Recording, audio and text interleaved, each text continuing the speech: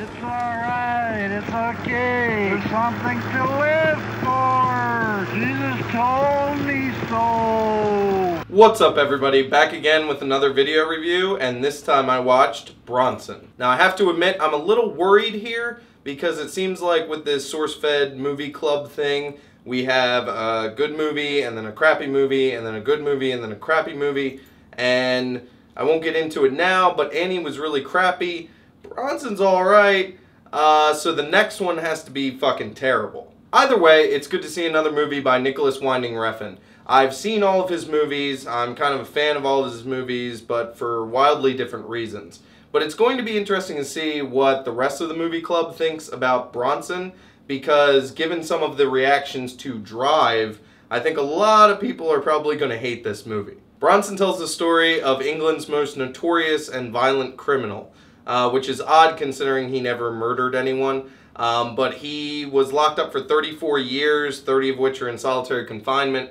And the movie itself plays out as a stage play, almost in his mind, about the events leading up to his incarceration, how he was incarcerated, what happened to him, how he gets put in a mental institution. Uh, it's a very trippy kind of take on this uh, almost documentary film kind of thing. Right off the bat, this movie has possibly one of the best single leading performances I've ever seen. Tom Hardy is immersed in this role as Bronson, uh, Charlie Bronson, this this notorious criminal.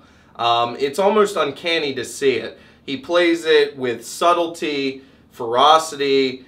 He just dives into this. Now, that's not to say that some of the other people in the movie aren't good. They are. But they're very much, you know, just background pieces to this grand stage play that Charlie Bronson's putting on. And Tom Hardy just delivers on every angle. Uh, he's unrecognizable as Tom Hardy. He is Charlie Bronson. Now, Nicholas Winding Refn has done six films. He had the Pusher trilogy, he has Bronson, he did Valhalla Rising, and he did Drive. Now, we've already watched Drive in the movie club. I said I loved it, but I would kind of have to point out how wildly different all of his movies are. Now, Drive is a very subtle movie. A lot of Drive plays out in the quiet scenes, the scenes with just music or, you know, just hanging silence. Um, Valhalla Rising is a movie that is very much just visual.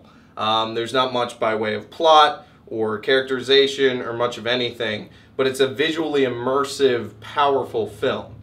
Bronson here is just a singular performance. It just steamrolls you with Tom Hardy's performance. Um, that kind of takes away from the plot and the pacing and you know this just the general storytelling it, it's a bit disjointed a little hard to follow um, Refn's only series or you know movies that have been purely accessible to most audiences are the Pusher trilogy. And if you haven't seen those, I recommend you check them out. Um, if you did not like Drive, but you also did not like Bronson, it meets right in the middle, and it's great. Bronson is very much a character piece, like I said. It is something that is driven by this performance of Tom Hardy. It is the bull in the china shop destroying everything to Drive's, you know, sweeping strokes in a painting. This is just sit back, get hit with it, and walk out and you're not sure what the hell happened. That's not to say Bronson is a bad film. It is not. It is a very good film. But the problem with Bronson and the thing that's going to make it inaccessible to a lot of people is that it's a very different kind of film. This is not the film you see most of the time. Again, the best thing I can say is this is an extreme parallel with Valhalla Rising. It is the you know, acting and the power to Valhalla Rising's slow burn visual feast. Uh, for those that complained about Drive, this has a ton of dialogue, so there is that. I can't recommend Bronson to everybody. It is something that is very iffy. Uh, some people are really going to like this movie. Um, a lot of people, I think, that are in theater can appreciate the, you know, just crazy range that's displayed in this film. then again, there are people that want a solid story. They want something they can follow. They want some kind of attachment. And you do not have that in this film. Uh, Bronson is not a necessarily likable character, although there's a certain level, level of sympathy towards him because he's someone that kind of gets caught up in the system.